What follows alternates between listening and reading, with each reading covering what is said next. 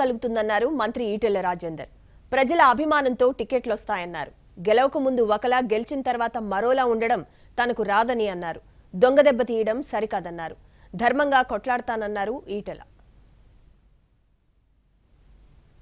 హుజూరాబాద్ మండలంలో పార్టీ కార్యకర్తల సమావేశంలో ఈటెల మాట్లాడారు. డబ్బులకు మద్యానికి ఓట్లు పడవని అన్నారు. నిజాయితీగా పనిచేసే వారికే ప్రజలు ఓట్లు వేస్తారని అన్నారు. క్యాంపు రాజకీయాలు తన వల్ల కాదన్నారు. కుట్ర చేసుకుంటే మన ఎక్కడ ఒకరి మీద ఒకటి పుల్లలు పెట్టుకుంటే మొన్న నా నాకు చేసినట్టు ఎక్కడ తూట్లు కొడితే కష్టమవుతుంది అట్లా పని చేయాలి. నాకు మొత్తం అలసింది ఎందుకంటే నాకు. పెద్ద కాన్షియన్స్ కాబట్టి ఒకటి చేసినా ఏ పని అలసింది కాబట్టి అట్లాంటి పని ఇక్కడ జరగదని చెప్పి కోరుకుంటున్నా. దయచేసి ఆ కల్చర్ కూడా మంచిది కాదు గుర్తుపెట్టుకోండి. ఆ కల్చర్ కూడా మంచిది కాదు. నమ్మకంగా ఉంటే మీకు ఆదరణ ఉంటుంది తప్ప నమ్మకం మీద ఆదరణ ఉండదు.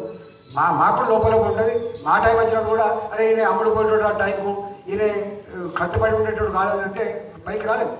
నాయకులు పైకి వచ్చేది విశ్వాసం కమిట్మెంట్ సిన్సియారిటీ ఉంటే పైకి వస్తుంది తప్ప మిగతాది కాదు. మనిషి కావాలి.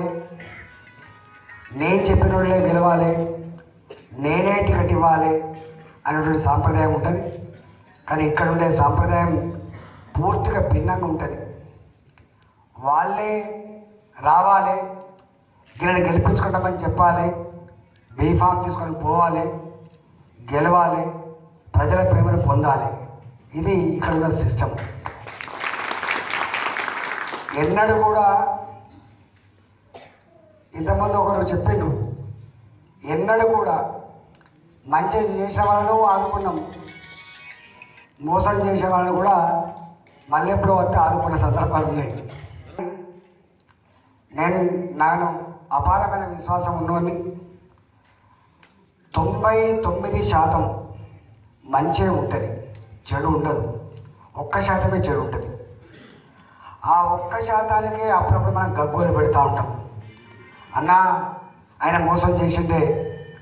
అన్న ఈయన అమ్ముడు పోయిండే. ఇట్లాంటి ఎట్లా ఉంటాయి? నువ్వు చేసే పనికి పడతాయి. అంతే తప్ప ఓట్లు లిక్కలు పడతాయి అంటే తప్పు అవుతుంది. కొంతమంది అంటూ ఉంటారు నేను ఐదు ఖర్చు పెట్టి నా పది ఖర్చు పెట్టి తప్పు జీబులో ఉండి నన్ను ఆశీర్వదించి నన్ను గెలుపు కోసం ప్రయత్నం చేసిండు. నాకు